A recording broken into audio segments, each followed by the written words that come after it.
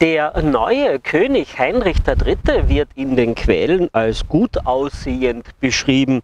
Er trug auch seinen Bart nach der neuesten Mode. Heinrich, geboren 1017, galt von klein auf als Hoffnung des Kaisertums. Mit 10 wurde er Mitkönig. Er heiratete mit 18 eine dänische Königstochter, wurde mit 20 schon Witwer und mit 21 König. Vier Jahre später heiratete er Agnes von Poitou, mit der er sieben Kinder hatte. 1046 wird er in Rom zum Kaiser gekrönt. Heinrich war sehr religiös. Von klein auf lernte er, dass Herrschen bedeutet, auf das Gesetz zu achten. Eine weitere Devise lautete, Herrschen bedeutet Gottesdienst. Selbst sah er sich als Integrationskraft im Reich. Er musste Adelsinteressen ausgleichen. Unter Heinrich III. war das Papsttum in einer schweren Krise. Papst Benedikt IX. war 1044 aus Rom vertrieben worden und konnte sich nur mit Mühe gegen den Gegenpapst durchsetzen. Nach seiner Rückkehr vollzog er aber Ungeheuerliches. Er trat sein Amt gegen hohe Geldzahlungen an seinen Taufpaten ab, der als Gregor VI. 1045 Papst wurde. Als Heinrich davon Kenntnis erlangte, griff er hart durch. Dem Papst sollte wegen Simonie, also dem in der Kirche strengstens verbotenen Ämterkauf, der Prozess gemacht werden. Gregor trat zurück und Clemens II. wurde am 24. Dezember 1046 auf Druck des Königs gewählt. Er war Bischof von Bamberg Heinrich schien das Papstamt damit aus den römischen Streitereien befreien zu wollen. Zugleich aber wurde es damit zu einer Institution der salischen Reichskirche.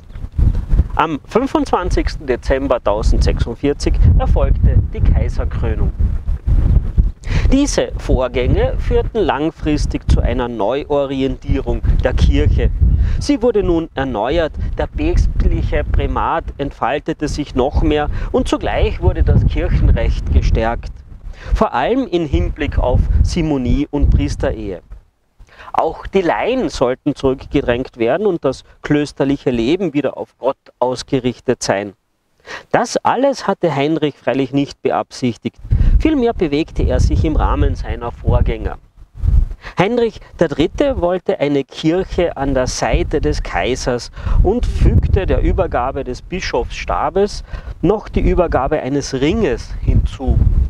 Stärker als seine Vorgänger setzte er bei Bischofswahlen auf seine engsten Vertrauten und überging damit oft die Wünsche des regionalen Adels.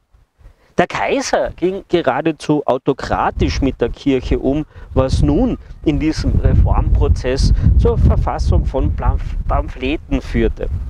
So lautete ein Argument, die Bischofsweihe führe zum ewigen Leben, während die Königsalbum zum Töten ermächtige. Die Kleriker kamen immer mehr zu dem Schluss, dass die Gemeinschaft der Bischöfe für die Seelsorge zuständig sein soll und nicht der Kaiser. Dem König wird die Funktion eines Laien zugewiesen, der für irdische Gerechtigkeit sorgen sollte.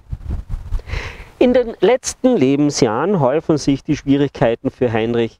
Das Verhältnis zu anderen Königen verschlechterte sich, die Vergabe von Herzogsämtern entglitt ihm immer mehr.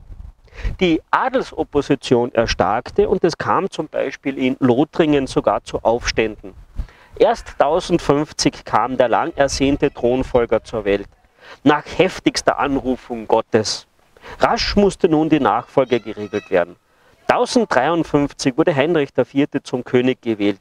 Bereits 1056 starb Heinrich III. mit nur 39 Jahren.